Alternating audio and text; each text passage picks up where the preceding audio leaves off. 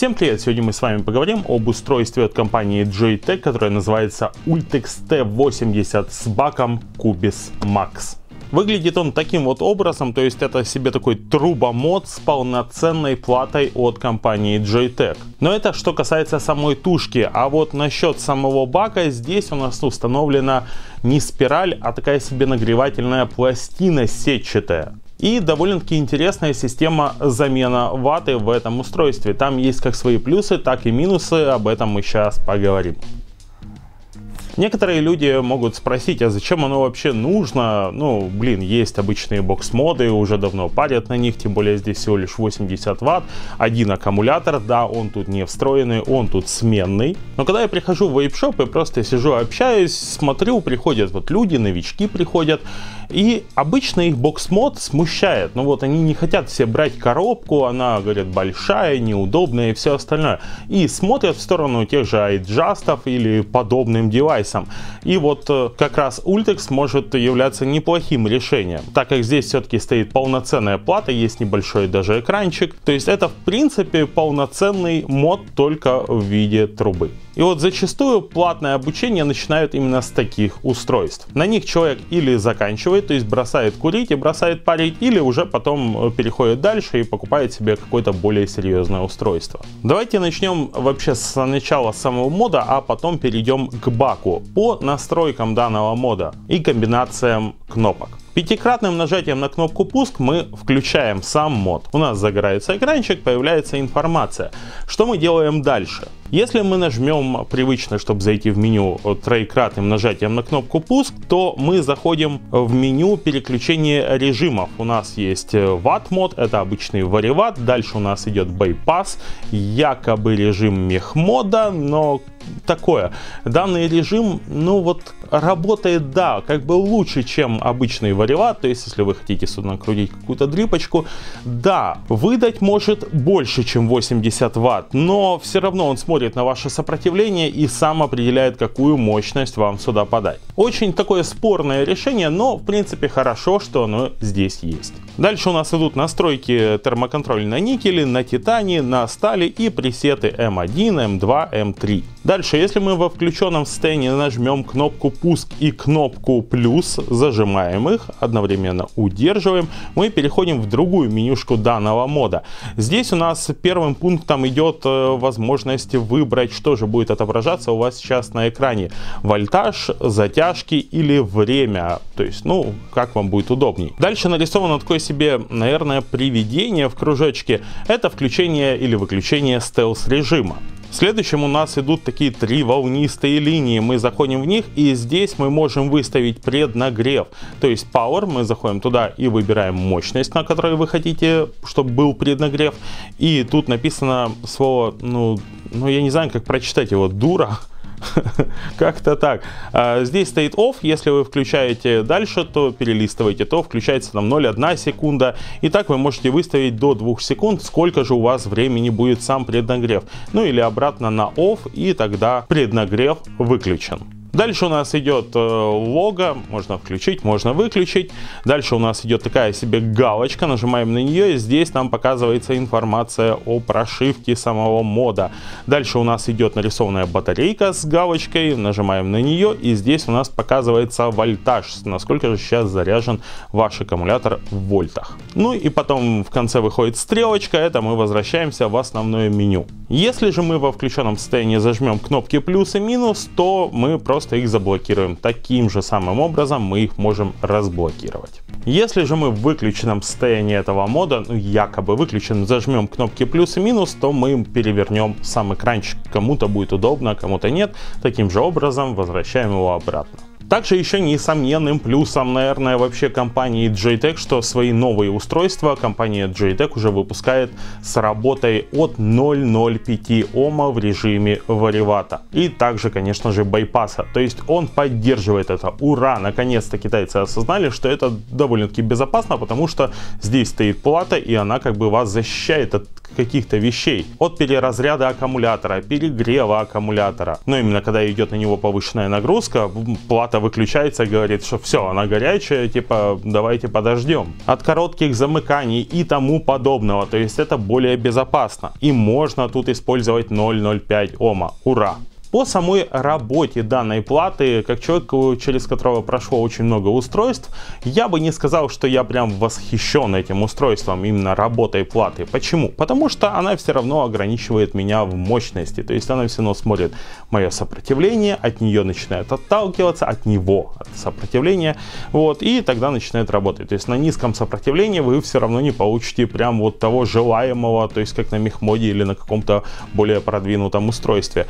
Немного намного лучше, к примеру, на сопротивлении там 0.08, 0.05, э, лучше, чем 80 ватт, которые оно может выдать в режиме байпаса. Да, выдаст немножко больше, но такое, такие ощущения какие-то. Ну, обычно новички такое не используют, и им хватает того, что может выдать данное устройство. Теперь же давайте перейдем к самому баку Cubis Max. Как вы могли заметить, здесь у нас бак с верхним забором воздуха. С одной стороны это хорошо, это означает, что не проливайка и протечь здесь просто почти нечему. Ну то есть, если вы его положите на бок, при этом всем плохо уложите вату, да, может быть там какая-то капелька проступит, где-то что-то чуть-чуть, но это очень редкая ситуация. Но и мне лично не очень нравятся баки с верхним забором воздуха. Они они хуже передают вкус, но как я чувствую, у каждого вкусовые рецепторы разные, мне лично не нравится. Мне нравится или нижний, или боковой. Но несмотря на все это, вкус почувствовать здесь жидкости можно. Он не будет мега ярким, он не раскроется полностью,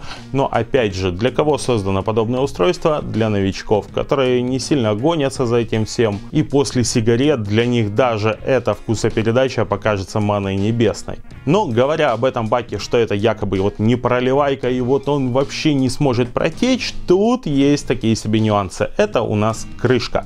Крышка здесь открывается с двигом в сторону и открывается отверстие для заправки.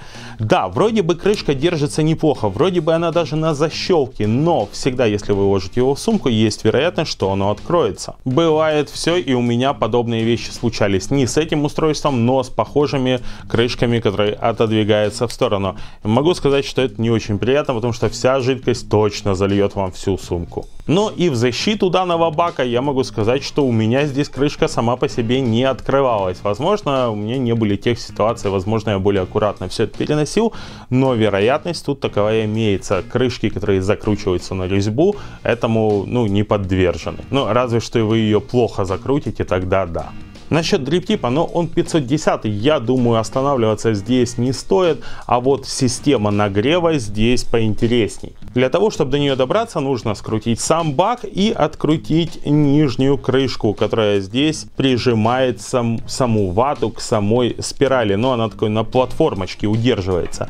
Мы ее снимаем и здесь мы видим такую себе пластину. Тянем слегка за коннектор, поднимаем ее и мы здесь видим сразу же керамическую базу, на которой которой находится сама ватка, два контакта. Это у нас плюсовой контакт, а минусом служит сам корпус. К ватке мы сейчас еще вернемся, и здесь мы видим саму пластину, которая прикручена двумя винтиками. И, собственно, когда мы нажимаем на кнопку пуск, у нас данная пластина начинает разогреваться, ватка к ней прижата и начинается испарение жидкости. Система, я не могу сказать, что нова. В принципе, это все та же самая сетка. Да и на пластинах уже были атомайзеры, как-то они не очень отличались вкусопередачей от слова совсем, здесь хотя бы она есть. Но здесь кроются первые минусы. Первое, что прожечь эту спираль, то есть раскалить и убрать с нее нагар, вы сможете только убрав ватку с этой платформы, все обратно собрав, не видя, как она разогревается, и разогревать ее на самом моде, потом откручивать и чистить ее. Но опять же, с другой стороны, здесь она довольно-таки толстая и промежутки в этой сеточке довольно-таки большие, можно ее почистить просто обычной металлической маленькой щеточкой, зубной щеткой старой. То есть, в принципе, очистить ее от нагара очень легко. И прослужит такая сетка довольно-таки долго. Так вышло, что я вот э, затянул вообще с обзорами и всем остальным и пользовался этим устро... устройством довольно-таки часто и продолжительное время. И как вы сами можете видеть, э, сетки вообще ни по чем. А заливал я сюда жидкость и темную, и светлую, и менял вату уже не один раз. Но вечного ничего не существует. Рано или поздно у вас эти сеточки закончатся. Чуть делать дальше, наверняка в Китае они появятся. Заказать их наверняка можно будет. Не знаю, как насчет вейпшопов, будут ли они их закупать или нет, как оно пойдет, э, может в крупных городах и можно будет достать, а вот э, в более мелких, ну, наверняка нет, и ваш выбор только Китай. Но перейдем еще к самой э, ватке. Да, в комплекте у нас имеются запасные такие уже нарезанные пластиночки ваты, которые вы можете заменить. Что делать после того, как они закончатся, потому что вату мы меняем более часто. Я могу сказать, что здесь вообще не беда. У меня прямо здесь сейчас уложена ватка из пакета Кенда, который, ну там вата абсолютно такая хаотичная. Я просто оторвал оттуда кусочек, отрезал примерно по форме прямоугольника, который здесь у нас находится, и уложил ее. То есть, конечно же, пришлось немножко повозиться, когда я это делал в первый раз, то есть, чтобы все было прям аккуратненько, аккуратненько и четенько. А, единственный нюанс, когда вы будете здесь таким образом менять вату, постарайтесь ее сделать немножко такую плотненькую. И когда вы ее сюда будете укладывать, а, то есть вы уже обрезали как нужно, укладывайте, смочите ее жидкостью и посмотрите, чтобы ее там было достаточно достаточную, то есть прижмите ее. Ну, надо сделать так, чтобы когда вы оденете данную часть обратно к самой базе, к самой спирали, чтобы ватка плотно прижималась и равномерно к самой сетке. Тогда будет прям вообще отличный вариант и проблем у вас с этим не будет. Так что это такой себе клирик, э, с полуобслуживаемым, ну как, он вообще полностью обслуживаемым, но если бы прям в легкую можно было доставать данную сетку, которая является нагревательным элементом здесь, но и служит она довольно-таки долго, и вату очень легко поменять, вкус, ну, для новичка будет норм. Некоторые еще могут написать, что это убийца iJust, все вот прям топчик номер один, полноценная плата, трубомод, круто. Но, э, смотрите, Первая Edge стоит в районе 20, но это со саму тушку, если там брать с баком, наверное, в районе 30. Я смотрел третий iJust, именно полной тушкой, полный сбор, он стоит в районе 51 доллара, где-то так. Это я говорю про цены в Китае, конечно же, не в магазинах города. Данная же тушка, вот сейчас, которая у меня в руках, стоит 62 доллара. То есть где-то на десяточку дороже. И здесь нет встроенного аккумулятора. То есть вам придется еще докупить отдельный аккумулятор. Но э, тут как бы плюс на минус. В iJust он встроенный. Если что, его нужно там перепаивать, искать подобное. В общем, этим всем заморачиваться. Здесь же сменный. У вас сел аккумулятор. Вам не нужно ждать, пока у вас зарядится сам девайс. Вытащили его, вставили новый и погнали дальше. Плата, конечно же, более сложная, чем в iJust стоит. Тут уже кому как. Опять же, я считаю, что если вы уже продвинутый парильщик, вам такое устройство не подойдет. А вот новички, я думаю, с охотой обратят внимание на данное устройство. Ну и конечно же, конечно же, здесь есть USB-порт, через который можно заряжать ваш аккумулятор, который там находится внутри. Также он используется для перепрошивки данного мода, если у вас что-то вдруг случится. Ну или выйдет просто новое обновление и вы захотите его поставить. Ну и на этом все. Надеюсь, вам была интересна и полезна эта информация. Вы подпишитесь на этот канал, может сделаете репостик, поставите лайк, напишите ваш комментарий об этом устройстве или вообще чем другом. Это не важно. Всем удачного, до свидания.